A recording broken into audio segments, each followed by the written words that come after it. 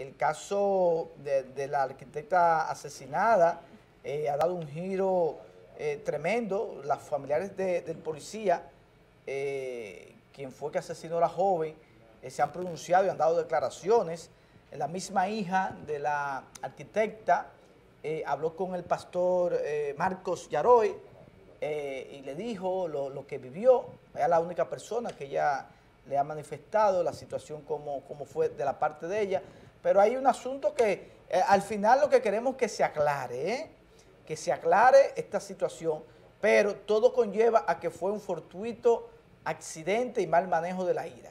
De hecho, más adelante voy a hablar con algunos temas de, de la culpabilidad de ese padre por su irresponsabilidad de montar a su esposa embarazada y a dos niños más en motor. Estamos hablando de cinco personas con las que vienen en el vientre, que ya una persona, según tenemos el conocimiento, eh, la concepción de la vida, desde que eh, se une el óvulo con el feto, muy bien.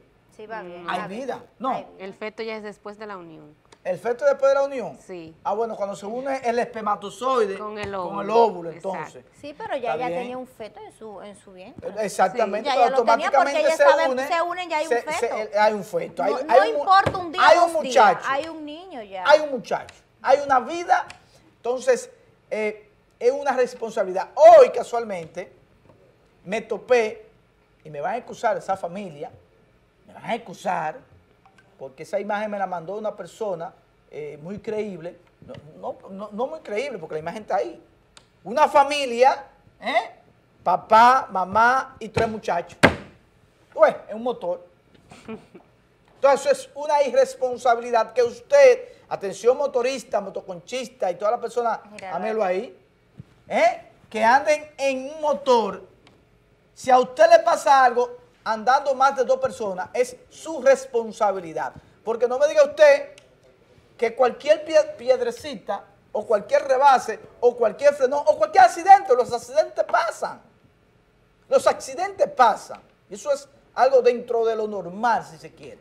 Pero no me diga usted a mí que usted es un motorcito con la mujer y tres muchachos, usted va a tener la, habilidad de poder salvaguardar la integridad física de su familia, entonces, una irresponsabilidad de ese policía, que si él hubiese andado solo, cuando no pasa, o él y la mujer, porque según las declaraciones de los familiares del policía, eh, y la mujer también, que se ven que son personas humildes, por eso yo decía, hay que esperar.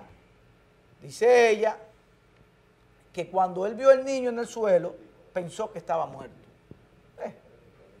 un asunto de ira, un asunto de ira. Sí, el, tipo ahí se, se, eh.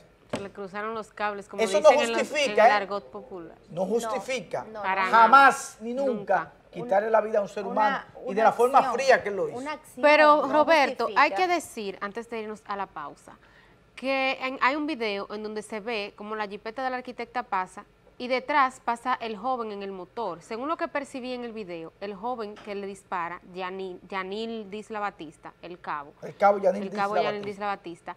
Él va detrás. Entonces, en fracción de segundos, dejó la gente, la familia tirada, ¿verdad? Entonces apareció alguien que se montara en el motor con él y alcanzó a la arquitecta. Todo eso pasó en fracción de segundos. eso es algo que hay que analizar pasó un tiempecito, porque alguien vino, eh, porque como él es oriundo de por ahí mismo, Vino la persona que lo están buscando y debe de entregarse también porque lo van a investigar. A ese motorista que, lo, que, le cayó atrás. Parecía le dijo, ven, ven, ven, que, mató a mi hijo. Y el motorista que había pasando por ahí, montate y le caían atrás. ¿Tú ves? Ahora, ese motorista cuando viene a ver no sabe las intenciones, pero hay que esperar. Donde la Policía Nacional se guayó y hizo eh, eh, eh, MMM, PPPP, fuera del cajón, fue dando unas declaraciones a priori, sin terminar la investigación, porque el policía dio unas informaciones que no concuerdan mucho. Primero dijo que fue que se le escapó un disparo, pero después se descubrió que hizo como, como cinco o seis disparos, ¿eh? impactando. Así es, Paola. Paola, dígame. No, que tú dices que la policía dio una información a priori. Siempre sucede ese tipo.